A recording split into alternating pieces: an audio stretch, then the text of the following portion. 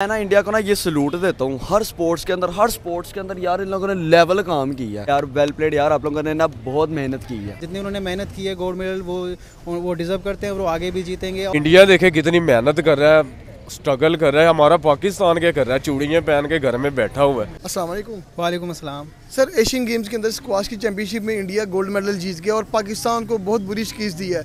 यार फाइनल हार गए हो। वो भी ऊपर से गोल्ड मेडल इंडिया के खिलाफ। यार, लानत पैंच मैं कहता हूँ, इनको ना ऐसा करो, इनको ना लाहौर बुला के, इनको बरकत मार के बिठा दो, या ना कहीं मॉल वन बिठा के ना इनको ना खाने खिलाओ पैंच तो ये ना हमारी ज़िंदगी, इन लोगों ने हराम की हुई है। सबके लिए यही है।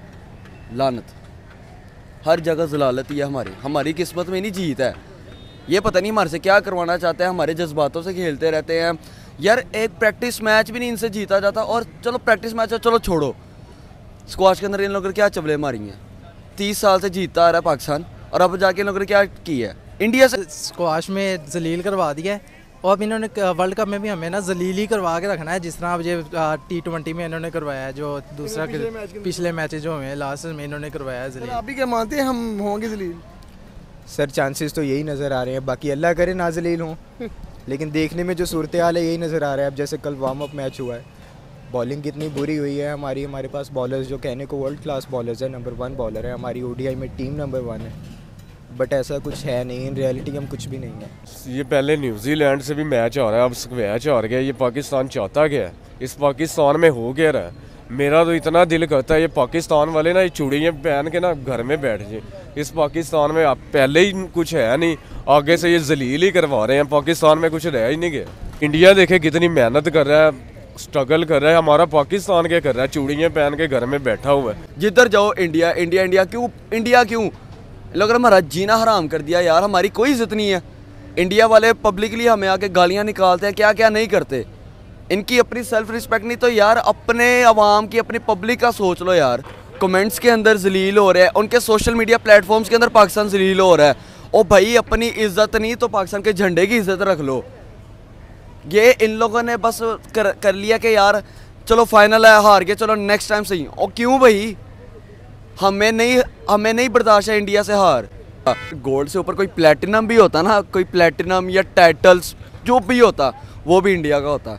पाकिस्तान ने क्या होना था? सेकंड नंबर पे, तीसरे नंबर पे आके हमारी वाम ने बस कहना यार शाहबा यार, क्या बात है यार Pakistan. Well played well played और क्यों वेल प्लेड यार वेल प्लेड यार, आप लोगों ने ना बहुत मेहनत की है। इंडिया हर चीज़ में आ गए चाहे वो स्पोर्ट्स हो, पढ़ाई हो, या कोई भी हो रिसेंटली उन्होंने मतलब वो चाँद पे गए हैं। तो इंडिया में हर जगह आप देखें जितने भी खिलाड़ी हैं, क्रिकेट की हम बात करें जितने भी खिलाड़ी हैं, वो सब गरीब घरानों से हैं, जिनके मतलब कोई भी बैकग्राउंड नहीं था, कोई पॉलिटिकल बैकग्राउंड नहीं है, वो सब टैलेंटेड टैलेंट्स को लेते हैं, वो टैलेंटेड प्लेयर्स को लेते हैं। चाहे उनका हर इंडस्ट्री हो, हर शोबा हो, हर चीज़ में वो टैलेंट्स को निकाल निकाल के, निकाल निकाल के लेके आते हैं। हर जगह पर ही रसवायत मिलती है हमें। तो ये सब कुछ तो चलता रहेगा हमारे नसीबों में, ये गेम्स में ऐसे ही हर चीज़ में जलालत देखना लिखी हुई यहाँ पे अब इनका जिस तरह भाई ने अभी कहा है कि सिफारिश के बाद पे चलते हैं, जिसकी वजह से ना अब लोग अपनी मेहनत करना छोड़ गए हैं। मेहनत करते नहीं है, कोई भी काम है ना, अब मोस्टली डिफरेंट कंट्रीज़ है इंडिया ले लें या दूसरी कंट्रीज़ ले लें, वो लोग अगर किसी चीज़ को अगर पिक करते हैं ना तो उस पर अपनी फुल जान लगा के मेहनत करते हैं, ताकि उसमें कामयाब हो। और जहाँ पे हमारे यहाँ पे लोग हैं, वो एक डिफरेंट साइड पे जा रहे हैं वो मेहनत नहीं करते, कोई भी काम पे अगर लेते हैं ना तो जिसकी वजह से हमें नाकामी का सामना फिर करना पड़ता है। अभी अगर देखें तो पाकिस्तान में हर जगह मेरिट की पामाली हो रही है। पाकिस्तान में किसी जगह भी उस बंदे को नहीं खिलाते, चाहे वो स्क्वाश हो, चाहे वो क्रिकेट हो या फुटबॉल की तो बात ही नहीं करते पाकिस्तान में। कोई भी हो टैलेंटेड प्लेयर्स को नहीं लेते, उनको लेते हैं जिनके असर रसूख होते हैं, जिनके कनेक्शंस होते हैं किसी बड़े लोगों से, चाहे वो पॉलिटिशियंस हो या कोई और अदारा हो। तो मुझे नहीं लगता कि पाकिस्तान कभी भी इस तरह से कामयाब होगा, क्योंकि आप टैलेंटेड टैलेंट को इग्नोर करेंगे और उस खिलाड़ी को लेंगे जिसे खेलना ही नहीं आता या फिर जो सिफारस के बलबूते पे आया है तो आई डोंट थिंक सो कि पाकिस्तान कभी कामयाब होगा। तो इस तरह से तरक्की होगी। वो इंडिया नहीं कोई भी मुल्क हो कोई भी कंट्री हो अगर वो टैलेंटेड प्लेयर्स को लेंगे टैलेंटेड लोगों को लेंगे तो ज़ाहिर सी बात है तरक्की तो होगी। और वैसे तो बहुत बहुत मुबारक हो इंडिया को वो गोल्ड जीते हैं। अच्छी बात है उन्हें जीतना भी चाहिए वो मेहनत करते हैं। और जो भी मेहनत करे चाहे वो इंडिया हो पाकिस्तान हो कोई भी कंट्री हो उन्हें बहुत सारी मुबारकबाद मैं देता हूँ और सबको देना चाहिए। क्योंकि मेहनत को चाहे वो जो भी हो जो मेहनत करे चाहे वो दुश्मन हो या हमारा वो क्या कहते हैं हरीफ हो अगर वो मेहनत करता है कामयाब होता है तो उसे क्योंकि अल्लाह भी मेहनत करने वालों को भी पसंद करते हैं। टैलेंट है ना टैलेंट को जब आगे नहीं लाया जाएगा तो टैलेंट मेहनत करना छोड़ देता है। तो यही वजह है बस ऐसे ही जलालत देखनी पड़ती है हमें। कोई बात नहीं होता है। यही सब कुछ देखना है हमने। तो मुझे तो कोई उम्मीद नहीं है हमारी टीम से पाकिस्तान से क्योंकि वही टीम उन्होंने सेलेक्ट की है जो हमारे एशिया कप में थी। टैलेंटेड प्लेयर्स को फिर वही कहता हूँ कि नहीं लेते और हमारे जो सिलेक्टर्स हैं, वो पता नहीं क्या कर रहे होते हैं। मुझे कोई चेंजेस नज़र नहीं आ रहे। एशिया कप के जो टीम में थी और वो वर्ल्ड कप की टीम में। होप्स हो कि हमारी टीम जीत जाए, लेकिन मुझे कोई उम्मीद नहीं है। सच बोलता हूँ। बेसिकली मैं हूँ पाकिस्तानी, लेकिन मैं इंडिया को इसलिए सपोर्ट करता हूँ क्योंकि वो ना मेहनत करते हैं।